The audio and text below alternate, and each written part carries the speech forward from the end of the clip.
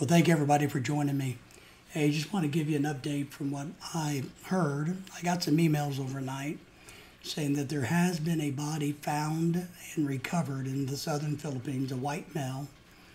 It is presumed to be Elliot Eastman, the YouTuber, the uh, guy that was from Vermont, mid 20s, living in the southern Philippines with his his new bride, and um, there is a, a Facebook video out there.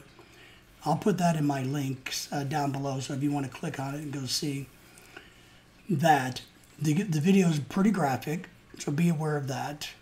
It does look like this could really be Eastman. We're not for sure at this point. Obviously, we can't say definitely it is. You don't see a bullet wound in his leg, but then again, the body's bloated and the bullet hole could easily have swollen shut.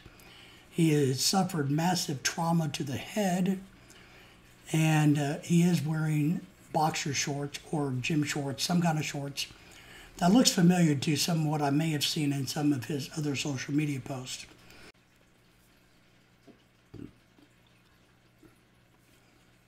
There's a lot of speculation about what actually happened on the ground, and none of us know for sure what the situation is.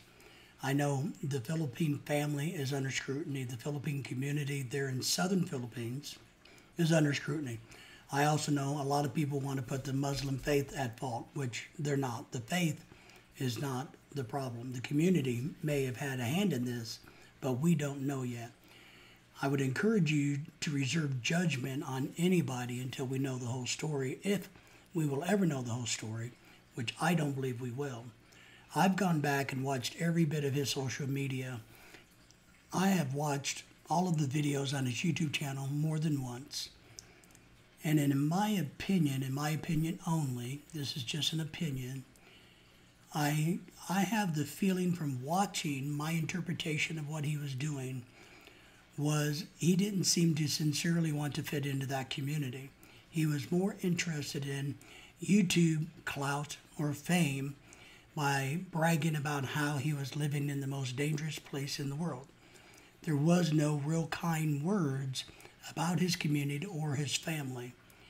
So there is a good possibility that maybe in such of a tight knit community where he did not want to fit in, he did not try to assimilate, that they took it in their own hands to rid themselves of somebody who did not want to be there. And remember, folks, he could have packed his bags and left that community at every time.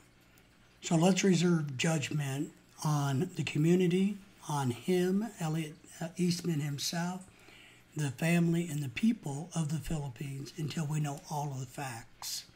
That's all we can do. Thank you.